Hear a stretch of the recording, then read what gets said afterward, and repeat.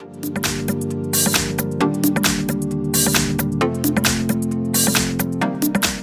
Welcome to the front of me Vivo Y76 5G and I'll show you how to turn on always on display feature on this device.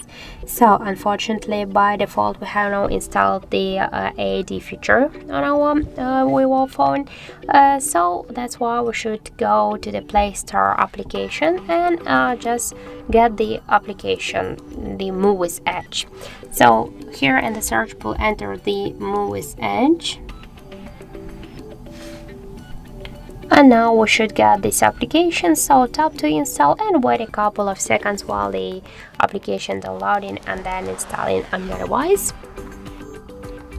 After that just open the app here click to draw our apps and wait just a second.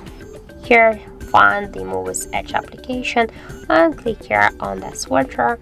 Now just go back into the app tap to the AOD here and select one from the available temps. For example, this one, click to apply and now just, well, check if the AOD feature, uh, yeah, it's activated. As can you see, we just successfully turned on the always on display feature on our Vivo phone. So that's it, thank you for watching and if you found this video helpful, don't forget to leave a like, comment and to subscribe our channel.